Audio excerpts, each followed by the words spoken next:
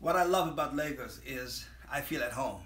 It's like coming home for me, and uh, I am such a great fan of pepper soup, and more pepper soup, and more pepper soup, and the fans, of course, the fans. And uh, please don't forget to get your tickets for a night at the Kazbah on the 22nd of October.